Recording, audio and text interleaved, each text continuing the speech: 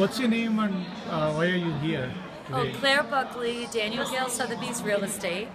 We're here for the uh, exposure business, the expo for new parents, and uh, we did come up with some great leads that are going. to We're going to help people find their next new home. Did you find the Booth Leads app useful? I really did. I we got uh, quite a few leads on there. Thank you. Thank you so much. Thank you. Very easy to use. Thank you.